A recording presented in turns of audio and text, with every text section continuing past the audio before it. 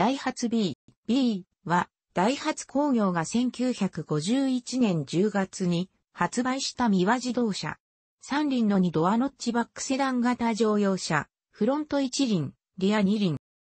完成車の分野では、オート三輪、トラックメーカーとしての活動が長かったダイハツにとって、三輪式ながら創立以来初めての本格的、市販型乗用車であり、貨物自動車としてのオート三輪とは一線を画した、低床式の乗用車専用設計シャーシとして、リアエンジンの RR 方式と後輪の独立懸架機構を採用した先進的構造が特徴である。関西でタクシーとしての使用に供され、本格量産化が起とされたが、製品としての完成度が不十分であったことなどから、約1年程度に少数が生産されるに止まった。生産台数は80台弱から300台程度まで諸説ある。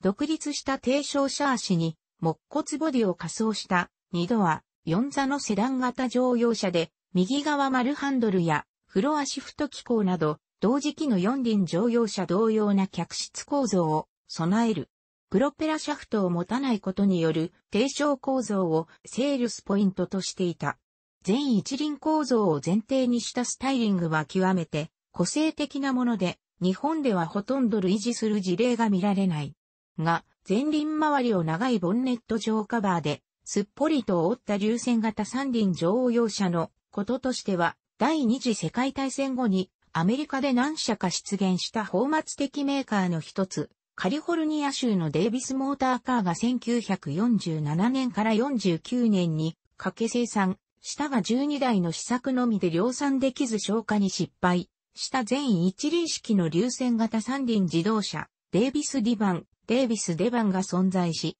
B がこれに類似することを、五十嵐平道が指摘している。デイビスがリトラクタブルヘッドライトを用いて、より徹底した流線型とし、B が一般的な固定型半埋め込みヘッドライトでて、叩き板金向けな現実的デザインに止めている差はある。ものの、アイデアの類似性は高い。ただし、リア側スタイリングは、フロントエンジンのデイビスがシンプルなフルワイズ型であるのに対し、リアエンジンの B は半独立したリアフェンダーやルーバーの多数入ったエンジンフードなどを備え、相当に異質である。ドアは前ヒンジ式で、側窓は前後席とも手回し式のレギュレーターで昇降できた。方向指示器は同時代の多くの自動車と同じく腕木式のアポロである。先行したデイビス・リバンは、放末製品らしく、ジープのシャーシから全車軸を外して前方にシャーシフレームを延長、前輪一輪とその指示機構を設けて、流線型ボディを乗せたという珍奇な成り立ちで、運転席前方のスカットル部分に水冷4、気筒エンジンを搭載する後輪固定軸のフロントエンジンリアドライブだった。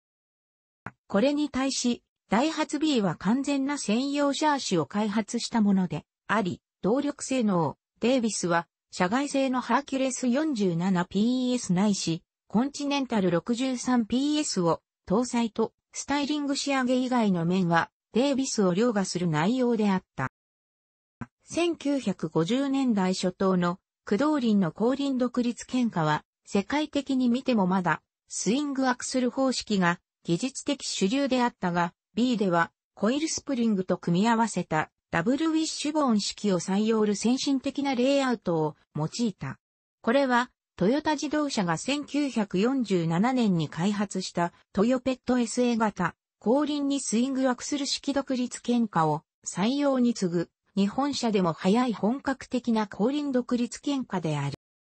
なお、同時期のオート三輪と同様にフロント一輪にはブレーキがなかった。後輪ブレーキは一般的な油圧ドラム式である。B 用に開発された 2HA 型エンジンは、強制空冷水平対向2気筒、オフで、同時期の大発生、オート3輪に対応されていた、垂直から若干傾斜した単気筒や90度 V 型2気筒の自然空冷エンジンとは異質なものであった。その構造上、運転者の足元にエンジンが一致するオート三輪用エンジンのようなキックスタート機構は与えられず、セルスタータ指導であった。オイルラインについては、ドライ散布方式を採用しており、高度な内容である。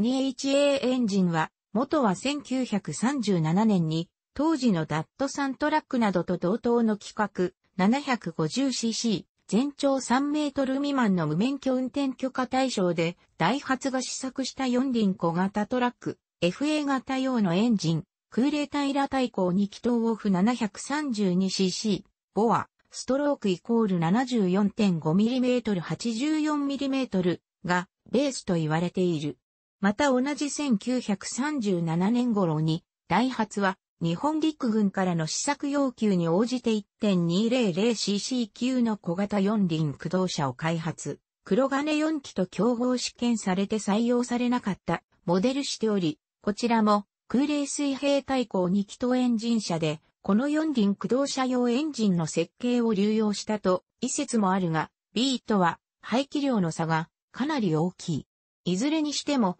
単気筒や V 型2気筒に比べれば振動抑制面では有利で、乗用車用としては適切な選択であった。B のエンジン仕様については記録上、混乱がつきまとう。当時ダイハツから発行されたカタログには、排気量 540cc で、出力 13.5ps、最高速度時速 70km と記載されていた。一方、ダイハツ工業の車種では 804cc18、PS が搭載されて、交渉最大時速 78km であったことが記録されている。自動車雑誌等における解雇記事でも B のエンジンについては530、540cc 説と 804cc 説がラバラに並存しており、並行生産されたのか、いずれかの時点で排気量変更がなされたのは明確にされていない。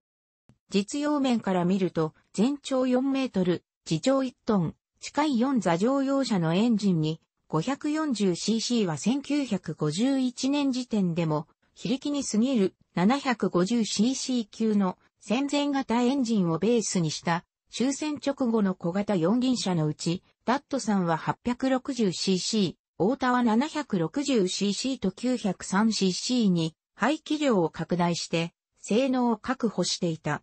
当時の軽自動車規格にも収まらないクラスで、FA 型の 732cc から排気量を縮小するメリットはなく、またダットさんに近いクラスまで排気量を上げても当時の小型タクシー規格には収まることから、主力は 804cc だったのではないかと見られる。現存車は、ダイハツ保管車が 804cc、埼玉県の個人所有者が 540cc、雑誌記事中では 530cc とも表記とされ、博物館保有者については不明である。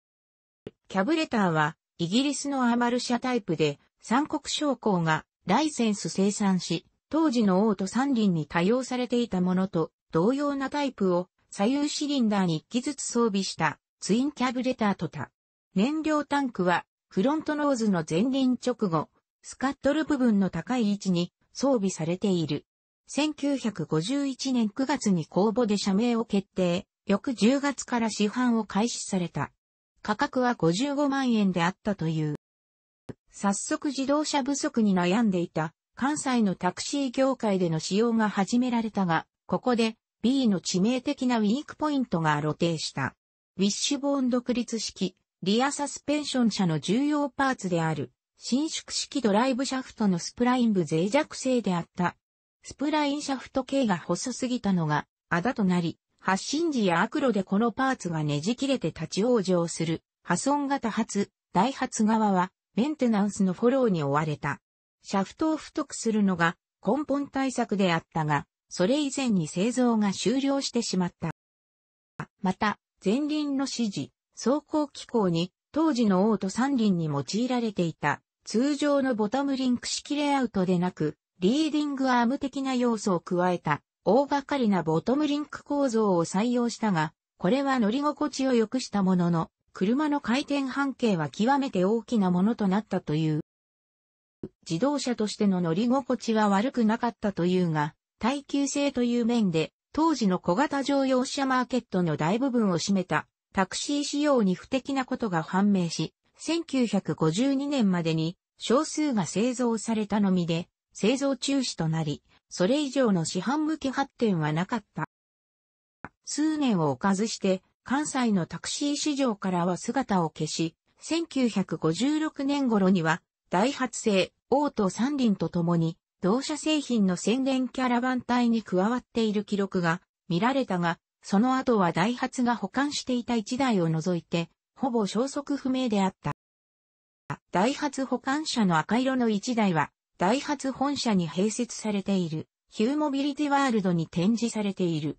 1980年代以降、人知れず保管されていた2台の所在が明らかになり、うち1台は熱心な愛好家の手で走行可能状態に復元2015年時点でナンバープレート付きの行動走行可能な状態になっている。劇場用短編映画、ほよよ世界一周大レースにおいて、空豆兄弟の参加用車両として登場する。楽しくご覧になりましたら、購読と良いです。クリックしてください。